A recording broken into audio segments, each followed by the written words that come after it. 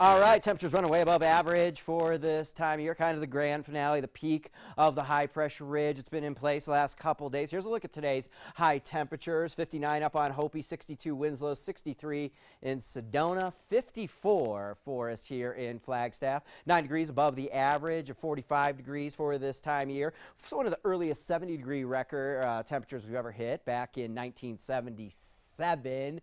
Um, all right, well, things are going to start to change up for us beginning tomorrow. Pacific storm system beginning to take shape, and here it is out in the Pacific, and this thing's really going to strengthen here over the next 24 hours. If you uh, have a satellite at home and you're so inclined, watch this thing turn into a huge beast of a storm off of California tomorrow. Notice these clouds out ahead of it will start to filter in for us tonight. We may even see a little bit of rain up towards the Arizona-Utah border, and tomorrow morning early, some of this way out ahead of it moisture. Some of this moisture way out ahead of the storm system will uh, bring some light rain during the morning hours. But uh, the main storm system really doesn't move in for us until Saturday. There's been some changes with the forecast track on this storm. This is what we've been talking about all week. It looked like the storm was going to take a southerly track down into Mexico. Today, models changing their tune a little bit and shifting this thing a little bit north. Tomorrow off San Francisco, Saturday a little bit more north off Baja, and Sunday moving through Arizona. So what does this mean? Well, with the more southerly track, it was going to be warmer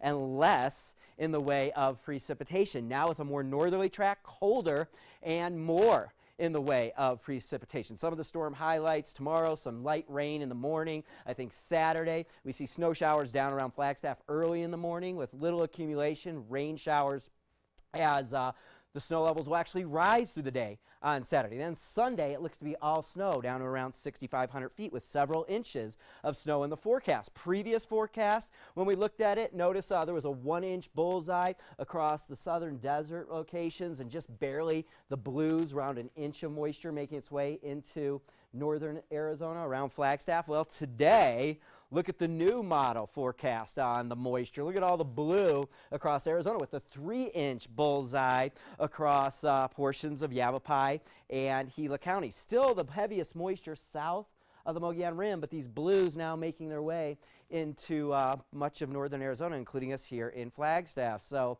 it's going to be a wet weekend for sure and a few inches of snow as well. And I think the most likely time to see some snow around Flagstaff will be Saturday night and through the day on Sunday. The storm will be out of here by President's Day Monday with a quick return to some mild temperatures. Okay, here's a closer look at the satellite. Some rain moving into Southern California. As I mentioned, some rain in the forecast overnight tonight across far northern Arizona. Some early morning rain as far south as Flagstaff. And then during the day, I think we break out and we're partly cloudy and uh, no rain through much of the bulk of the day tomorrow. 32 degrees overnight tonight as the high clouds are on the increase. Tomorrow, look for the light morning drizzle and uh, otherwise partly cloudy as I mentioned. Much cooler, 44 degrees our high temperature forecast tomorrow. 57 for Sedona to round out the work week. 55 in Prescott, 56 Payson. No rain tomorrow down across the southern half of the state. That's all going to happen on Saturday and uh, quite a bit of it as well. We could see some uh, flooding concerns as well with two, three inches of rain. Okay,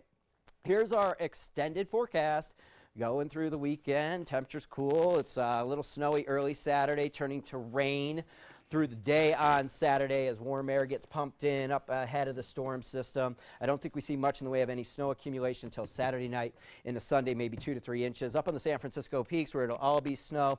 Great news for skiers, foot plus, foot, foot and a half of snow on the way.